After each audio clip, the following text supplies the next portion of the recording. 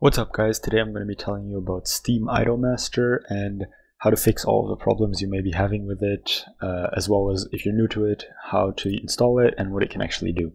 So what is uh, Steam Idlemaster? Well, basically it allows you to get uh, the Steam trading cards for each game without actually having to play the game for hours and hours on end. Uh, so very important thing to mention is how it actually works. So basically what it does is it uh, it pretends to Steam that you're playing the game. You don't even have to have it installed or anything.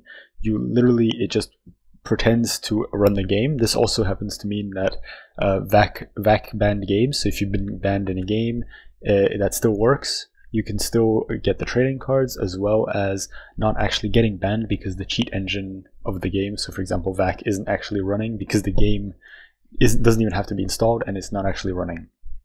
So uh, how do you install the game and what do you do if you've already have it installed? So if you already have the game installed, uh, the the program installed, then you just have to delete it and and then you have to go to this website. It's linked in the description below. And what you'll happen is you'll end up on this page. All you have to do is click on releases over here and then find where it says direct download. You click that and what will happen is you'll download um, this zip file. You right click, extract all, and you'll get a bunch of folders. And these are the eight files that you really need.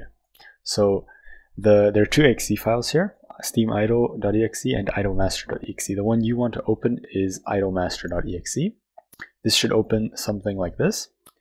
Uh, exactly like this. It should say Steam running if you have Steam running. If you don't, just open it uh, and then it says Steam Idlemaster is not connected to Steam. So one really new thing about it is when you click sign in, as you can see over here, it says attempting quick login.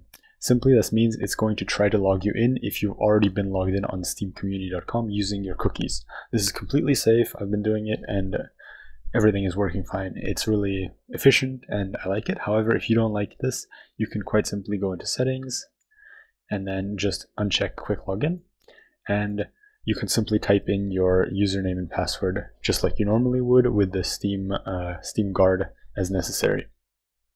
Um, one issue might one issue you might run into is that if you have parental controls, uh, you won't be able to idle the games. So all you have to do for that is click Settings, click this lock icon right here, and enter your Steam parental code right where here where it says Steam parental, and then click Update, and everything should work. Uh, so now that you, have installed it, uh, you've been running it for a bit, you might run into some issues. Uh, one really common issue is it says idle complete. As you can see on screen right now in the screenshot, it simply says idle complete even though you may have some games. So the first thing you have to do to check to solve this problem is first of all you have to go to this page steamcommunity.com slash uh, id slash your username and not in the inventory but the badge page you can get to this badge page either, either by typing in slash uh, badges over here, like so, or by clicking the badge right here. And then uh, you'll see a bunch of your games along with the trading cards. So as you can see here, the, the thing that matters uh, with idle complete is whether or not you have any card drops remaining. If it says no card drops remaining, that means uh, you cannot actually get any more card drops. And if this is true for all of your games, as you can see here, a bunch of these games have no card drops remaining. If it's true for all of your games, then you cannot idle anything else, and you'll either have to spend money in a free-to-play game or buy a new game. However, if you scroll down and you happen to see two card drops remaining, three card drops remaining, however many card drops remaining, and it still says idle incomplete, uh, then what you have to do is there's a very simple fix for this. You simply go here, you click sign out, and you click sign in again. Sign out, sign in, and everything should work again. If, however, you cannot uh, log in, it doesn't let you log in, the first step is obviously to just restart and reinstall this program. Uh, this is very easy to do. As you see, it takes 10 seconds to install the, install the program. If this is still not working, what you need is um, you have to have a custom ID. As you can see here, it says ID and then T underscore the beast. And this is not the default. In Default, you'll have some random characters and such. So in order to set this up, you go to your profile page, you click edit profile, then you scroll down to where it says custom URL, and then you simply type in something over here. and in most cases this will fix the problem. However, if it's still not working and you still have trouble logging into your logging into the Steam account or just any problems with uh, Idlemaster, what you can do is simply type in app data right here, percentage app data percentage, and this folder. This will open this folder. And you'll end up in app data roaming. However, you don't want this, so you have to click on the small arrow right here. You click up, and then you find local. You click on local, and then you find Idlemaster right here, and simply delete everything in this folder. In, in this folder, if you delete everything, it should practically reset uh, reset the, the program, and you should be able to log in easily.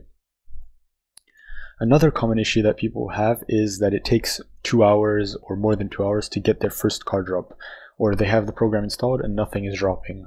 And you've checked that you have the card drops remaining, and that doesn't seem to be issue. In that case, it might be that you don't have enough playtime on each of the programs. As you can see here, it says hours. So uh, 12 is better than 6 has either been idled or played for 0.4 hours. However, due to some new um, uh, system that uh, Valve has implemented, you cannot actually get card drops within the first uh, two hours of the game because otherwise you could refund it. And the, there have been uh, there have been people who have been buying games, idling them for their um, for their trading cards, and then refunding the game to try and make a quick profit. So Valve has done something to stop this, and they implemented a simple fix. Basically, you have to have played a game for two hours at least. This does add a lot of hassle to the to the idling process. However, it does prevent a lot of fraud. So there's nothing really you can do about it other than to open your game and play it, or to just leave it idling for two hours, and then after a while it should it should start working again. Uh, some other common questions that people have been asking uh, in the previous video that I made uh, is firstly, can you actually use family sharing when you're um, when you're idling the games? And the answer is no, because you don't actually own the game. If you own the game, you can idle it, otherwise you can't. And it doesn't matter if you've installed it or not, because your Steam account is what matters, and your badge page, and not and not actually um, having having the game uh, installed. Because as I mentioned at the beginning of the video, uh, the Idlemaster program doesn't actually install the game or need any files of the game to exist. and then uh, the final question is, can you use Idle Master with free-to-play games? And yes, you can. However, you have to spend at least ten dollars in the game in order for it to be, in order to have the chance to drop, for it to have the chance to drop trading cards. So if you just have, uh, for example, TF2, if you've just been playing it and you haven't actually spent any money, uh, you won't be able to idle it. However, once you've spent ten dollars, you'll be able to get, I believe, uh, four to six trading cards.